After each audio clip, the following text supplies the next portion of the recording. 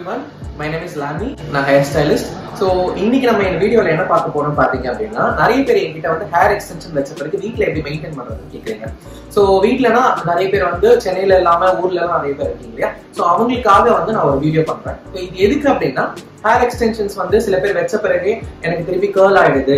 எனக்கு வந்து சில நேரத்தில் ஃப்ரிஸியா இருக்கு. அது என்ன ப்ராப்பரா மெயின்டைன் பண்ண முடியல.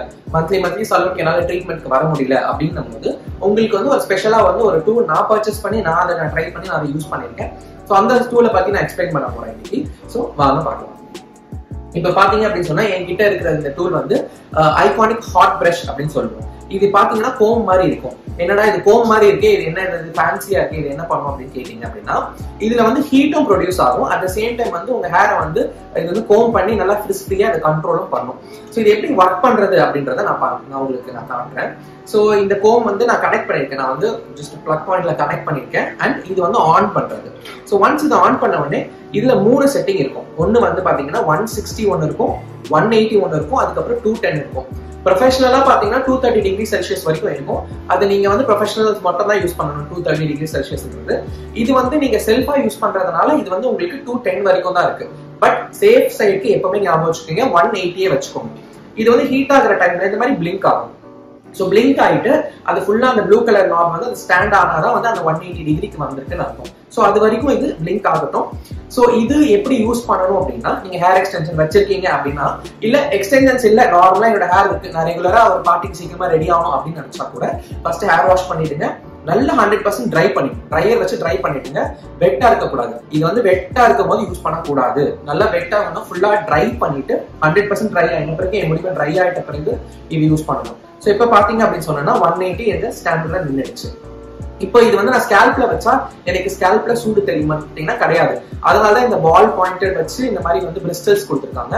இதுக்கு உள்ள இருக்கக்கூடிய அந்த பிங்க் கலர்ல இருக்கு இல்லையா அதுதான் வந்து இந்த செராமிக் ராடு அந்த ராட்ல தான் உங்களுக்கு ஹீட் ப்ரொடியூஸ் வரும். அந்த ராட் டச் பண்ணாதீங்க.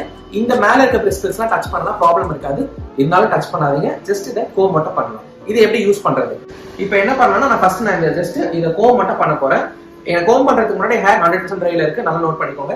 ஜஸ்ட் இதை வந்து இப்போ இந்த லைட்டா இங்க கேர்ள்ஸ் தெரியுது இல்லையா? ஸோ இப்போ நான் ஸ்ட்ரைட் மாதிரி ஜஸ்ட் கோம் பண்றேன். பாருங்க இதோட டிஃபரன்ஸ் எப்படி இருக்கும்? ஜஸ்ட் நம்ம ரெகுலர் கோம் பண்றது தான் நம்ம ரெகுலரா நம்ம வீட்ல யூஸ் பண்ணக்கூடிய பிரஷ் பட் மேக் ஷூர் இது கொஞ்சம் கொஞ்சம் ஹாட்டா இருக்கும். உங்க காது கிட்ட எல்லாம் கொண்டு வரும்போது கொஞ்சம் ஹாட்டா இருக்கும். ஸோ அது மட்டும் ஜஸ்ட் கோம் பண்ணுங்க. இப்ப பாருங்க இந்த கேர்ள்ஸ் எனக்கு லூசன பாய் கொஞ்சம் ஸ்ட்ரைட்டா இருக்கு. இப்போ இந்த இடம் வந்து எனக்கு இன்னும் கொஞ்சம் கேர்லா வரணும். அப்படின்னா நான் இதை இப்படி உல்டா பண்ணி இப்படி ரிலீஸ் பண்ணணும்.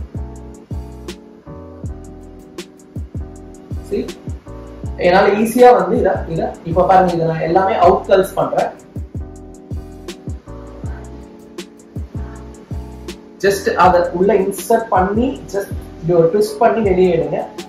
You get that natural curl ஒரு ப்ளோ ட்ரை லுக் பண்ணா எப்படி இருக்கும்? அதே மாதிரி இந்த சைடு பாருங்க. இந்த சைடு வந்து இப்போ எனக்கு இங்க ஃபிளாட்டா இருக்கு இல்லையா? ஸோ அது வந்து ஒரு ப்ளோ ட்ரை கர்ல்ஸ் மாதிரி பண்ணா எனக்கு எப்படி இருக்கும்? அப்படின்னு நான் காட்டுறேன் பாருங்க.